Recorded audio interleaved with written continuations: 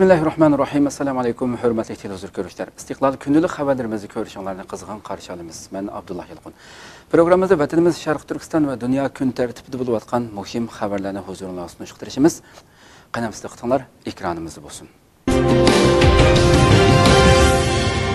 Lager xidmətçisi lagerinin içki əhvalını aşkarladı. 28 noyabr zimiston to'g'ri bergan xabarda bildirilishicha lager xizmatchisi ismi va xizmat o'rnini oshkorlamaslik sharti bilan lagerning ichki ahvolini oshkorlab xitoyning jinoyatini fosh qildi. Mazkur xizmatchi ilgari ommaviy mulozimat xizmatchisi bo'lib uning orzusiga qarshi sharqi turkistondagi ma'lum lagerga yo'tkalgan u xizmatchi xitoy doirlari sharqi turkistonda ta'sis qilgan lagerning ichki ahvolini oshkora qilib munularni bildirdi. Lagerning xizmati intayin aldirash. Xizmatchilarning dam olish kuni muqim bekitilgan bo'lsimi biroq asosan dam olish qilolmaymiz. Man xizmat qilgan lager turishliq nahiyadagi uyg'urlarning hammasi degudak tutqun qilinib lagerga odam sig'may shu yerdagi o'ttir maktabni lager qilib o'zgardi. Lagerga tutqun qilingan uyg'urlar qattiq boshqurish odatdagi boshqurish kangri boshqurish majburiy xarakterlik boshqurish qatorliq to'rt darajaga bo'lib boshquriladi lagerga tutqun qilingan hamon har xil besimlar bilan jinoyatchi ekanligini e'tirof qilishga majburlandi. O'zining jinoyatchi ekanligini e'tirof qilmagan tutqunlar turmaga yo'tkilib oz deganda besh yil kesiladi. Bir qism sababsiz tutqun qilingan kishilar ichida o'zini jinoyatchi deb e'tirof qilmaslikda ching turib o'ttiz yil kesilib ketganlarmi bo'ldi. U yana munularni oshkorildi tutqunlar doim til haqorat tan jazosiga uchraydi. Har oyda nomer qo'yib baholash tadbiri yo'lga qo'yildi. Hamma ishda aktiv bo'lib 95 dan yuqori nomer olgan tutqunlar shu oyda oilasi bilan ko'rishishga ruxsat qilindi. Boshqalarning oilasida qandoq jiddiy ish bo'lib ketishidan qat'iy nazar ko'rishishga ruxsat berilmaydi. Qozog'iston davlat organlariga xitoylar singib kelishga boshladi 29 noyabr qozog'istondan egallangan ma'lumotlarga asoslanganda qozog'istonning muhim davlat organlariga ichkirilab kirishga boshlagan. Yaqinqi mezgillardan beri xitoy qozog'iston hukumatiga qarz berish qarzning o'rniga yer setib olish xitoy fuqarolarini qozog'istonga ko'chirish qatorliq yumshoq vositalar bilan singib kirishga boshlaganligi hammamizga ma'lum bo'lgan edi. Bu qatimqi uchurda xitoy qozog'istonning muhim davlat organlariga ichkirilab kirganligi o'ttirg'a chiqdi. Qozog'iston davlatlik mangistov nefit gaz qidirib tekshirish idorasining bosh direktorligiga lunsu chin ismli xitoy keltirilgan bo'lib uning muavinimi chensi yuan ismli xitoy bo'lgan. Lu anchin ismli xitoy bo'lsa nefit tekshirish xizmatining boshlig'i bo'lgan. Qozog'istondagi davlatning va xalqning meli bo'lgan bundoq muhim o'rinni xitoylarning egallab bo'lishi yerlik xalqning qattiq g'azabini qo'zg'amoqda. Koreyada bir talla bozoriga xitoyning kirib chiqishi cheklandi. 28 noyabr twitterda tarqalgan silliq ko'rinishda ma'lum bo'lishicha janubiy koreyadagi 711 nomerliq birlashma talla bozoriga xitoy fuqarolarining kirishi man'iy qilingan. Mazkur talla bozorining eshigiga xitoylarning kirib chiqishi man'iy qilindi degan xat yozilgan ogohlantirish esib qo'yilgan bo'lib talla bozori piyodalar yo'liga tutishadigan qaynoq bozorda ekan. Ogohlantirishni ko'rgan xitoy fuqarolari do'kon egasiga bugun kech kirguncha elivatmasa tadbir qo'llanamiz deb tahdid solgan bo'lsimi biroq ogohlantirish elib etilmagan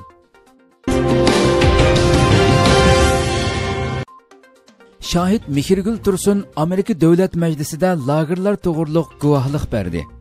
Erkin osiyo radiosining xabarida bildirilishicha 28 noyabr kuni amerika davlat majlisi qarmog'idagi xitoy ishlari ijroiya komitetida xitoydagi diniy bostirish bo'yicha guvohlik berish yig'ini o'tkazildi.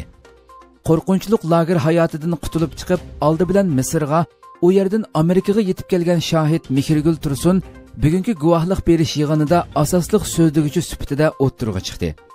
Amerika davlat majlisining xitoy ishlari ijroiya komiteti uyushtirgan guvohlik berish yig'iniga kommunistik partiya xitoyda diniy e'tiqodni qattiq bostirdi deb nom berilgan bo'lib yig'inda mehrgul tursundan boshqa yana amerika diniy erkinlik institutining boshlig'i tomas far merkator xitoyshunoslik tadqiqot institutining ziyoratchi tadqiqotchisi samanta hofman qatorliqlarmi guvohlik berdi. Guvohlik berish yig'ini boshlanishi bilan amerika kengash palatasining a'zosi senator marko rubio so'z qildi. U amerika davlat majlisi xitoy ishlari ijroiya komitetining bu yil xitoy rejimining uyg'ur abtonom rayonida elib berayotgan bostirishlariga bo'libmi uyg'ur va boshqa yerlik musulmon millatlarini nishon qilgan bostirishlarga yaqindan diqqat qilib kelganligini ta'kidladi u yana bu yil oktyabrda e'lon qilingan xitoydagi kishilik huquq dafsandichiligiga doir yillik dokladda xitoyning sharqi turkistonda insoniyatga qarshi jinoyat sodir qilayotganligi tilga ilinganligini bayon qilib o'tdi u yana mazkur komitet tarafidan bu yil 7 oyda o'tkazilgan guvohlik berish yig'inida erkin osiyo radiosi uyg'ur bo'limining muxbiri gulchehra xo'ja va boshqa 5 nafar amerika fuqaroligidagi uyg'ur muxbirlarining ota ona va urug' tuqqanlarining xitoy rejimi tarafidan tutqun qilinganligidek ahvolnimi eskartib o'tdi. Marko rubio uyg'ur shohid mehrgul tursunning bugungi bu guvohlik berish yig'inida qaysarlik bilan o'ttirg'a chiqib guvohlik berganligiga alohida rahmat etdi u mundoq dedi. Mehrigul tursunxonimning hikoyasi xitoyning diniy e'tiqodga va diniy gruppalarga qaratayotgan rahimsizlarcha bostirishlarining rost ekanligini ko'rsatib bermoqda. Bu bir rezillik. Bu sal qarashga aslo bo'lmaydigan reallik. Biz yashayotgan 21 asrda bundoq rezillik hargiz hargiz va hargizmi qabul qilinmasligi kerak. Shaxslarning diniy e'tiqodi va madaniyat kimligi sababli bu xildagi kang ko'lamlik yig'ib olish lagerlariga qamilishi aslo qabul qilinmasligi kerak. Marko rubiodan keyin davlat majlisining a'zosi kristofer simis so'z elib mundoq dedi. Mehrgul tursunning kuchli guvohligi bizga shuni eskartmoqdaki xitoy rejimining shinjongda ta'sis qilgan yuqori texnikalik soqchi davlatiga xos taqib sistemasiga hargizmi sukut qilmasligimiz kerak. Xitoy rejimi bu xil taqib sistemasi orqali rayondagi butkul etnik gruppalarga qarata keng ko'lamlik majburiy assimilyatsiya va diniy e'tiqodni xitoychilashtirish strategiyasini yo'l qo'ymoqda.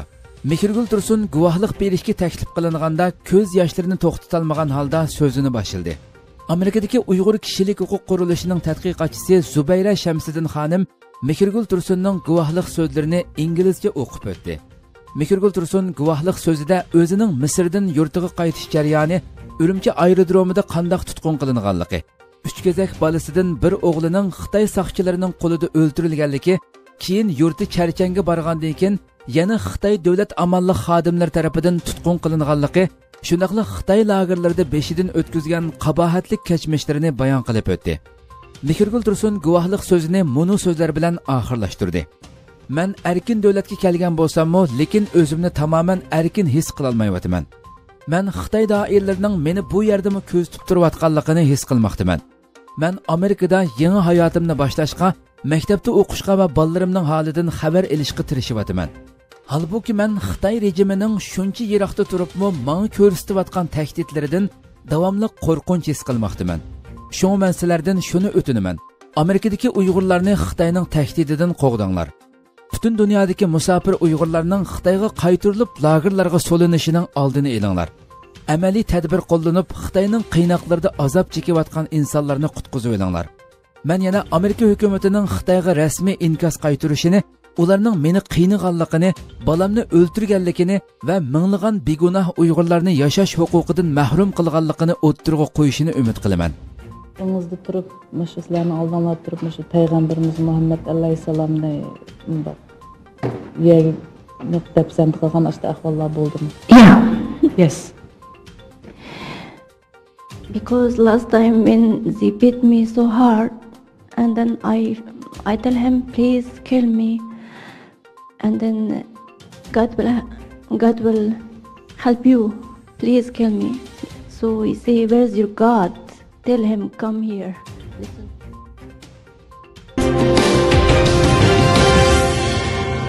kastamonu universitetida xitoyning assimilyatsiya siyosati tunishtirildi xalqimiz ichidan yetishib chiqqan mo'l ilmiy qobiliyatga ega ustozlarimizdan professor doktor abdurashid jelil qarluq apandi turkiyaning har qaysi shaharlarida xitoyning vatanimizda elib berayotgan tasvirligisiz zulm va jinoyatlarini kang o'quvchilarga va yerlik xalqqa tunutmoqda 29 noyabr kuni kastamonu universitetida xitoy usuli assimilyatsiyaning yangi shakli yangidan ijtimoiylashtirish lagerlari temasida yig'in uyushtirildi. Yig'inda professor doktor abdurashid qarloq xitoyning tarixdan buyon farqliq millatlarni eritib yo'q qilib kelganligini buning sabablarini xitoy madaniyatida farqliq madaniyatlarni tahdid deb qarab uni yashatmaydiganligi balki uningga kirib olib bora bora uni yo'q qilib tashlaydiganligini hozir sharq turkistonda eng cho'qqisiga chiqqan bu assimilyatsiya siyosining asli kelib chiqish manbasini yo'ritib berdi. Shunaqla u xitoy hozir jazo lagerlarida ijro qilayotgan dafsandichiliklarni va sirtda qolganlarningmi intayin ig'ir kunlarda yashayotganligini xitoyning qo'shmoq tuqqan qilish o'n oilani bir zanjir qilgan asosda ularning har bir harakatini kuzatish ularning butun aloqa uchur vositalarini qattiq kontrol qilib xalqni nafas olg'usiz holga elib kelganligi qatorliq temalarda atrofliq to'xtaldi. Ispaniya xitoyning bir balvoq bir yo'l planini rad qildi. Soda vaqti to'rining 28 noyabr e'lon qilgan maqolasida ispaniyaning yuqori darajalik amaldori seshanba kuni rais shi zinpinning ziyoratidan burun xitoyning yevropa bilan osiyoni texmi yaxshi bog'lash maqsadida planlagan bir balvoq bir yo'l loyihasini imzolamaydiganligini bildirdi. Maqolada bildirilishicha 2013 yili rais shi tarafidan yo'l qo'yilgan bir qancha milliard dollarlik bu loyiha qit'alarni port temir yo'l yo'l va sanoat baza to'ri bilan birlashtirishni nishon qilgan. Maqolada yana beyjingning dunyo nupusining taxminan yuzda oltmishini va dunyo iqtisodining uchta birini tamsil qiladigan 65 davlatni bog'laydigan bir qurilma insho qilishni planlayotganligini bildirdi. Hozirgacha 70 ga yaqin davlat bu loyihaga qiziqadiganliklarini bildirib loyihani imzolagan. Yevropa davlatlaridan poloniya va gretsiya qatorliq davlatlar bu loyihani imzolagan. Buningga qarshi ismini bildirishni rad qilgan ispaniyalik bir amaldor bu loyihani imzolamaydiganligini bildirgan. Maqolada bildirilishicha ispaniyalik amaldor davlatining xitoyning yipak yo'li loyihasini imzolashni rad qilganligining sababini bildirib yevropaning osiyo bilan bir bog' qurish loyihasining bor ekanligini shu sababli yevropaliklarning mushu ramkining ichida ishlashi kerakligini o'ylaydiganligini aytdi. U yana sentabrda yevropa birligiga tafsiliy shaklda bir plan sundiganligini bildirdi. Lekin maqolada shi zinpinning ziyoratidan ilgari madriddan kelgan bu xabar xitoyni andishiga soldiganligi bildirildi. Maqolada aytilishicha fransiyaning osiyo tadqiqot markazining bosh direktori jen frankois de meligo har qaysi davlatlarning xitoy bilan imzolagan imzonomining intayin oz qonuniy kuchga ega ekanligini bildirgan. Maqolaning oxirida u yana xitoy uchun bu imzonomani qo'lga keltirishning intayin muhim ekanligini chunki beyjing bu yipak yo'li tijoratini yuqori moliya loyihasi bilan jonlantirishga boshlaganligini qo'shib qo'ydi.